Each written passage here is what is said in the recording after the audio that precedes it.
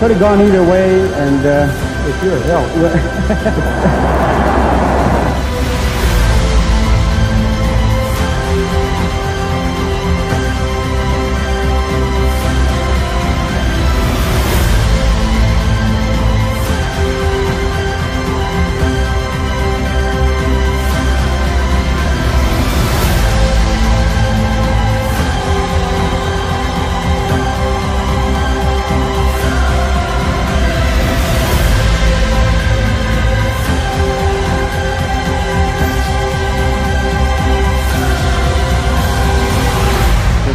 we can win the Stanley Cup. I'm certainly uh, hoping that even at my age, we could win it, and it'll be something I'll never forget.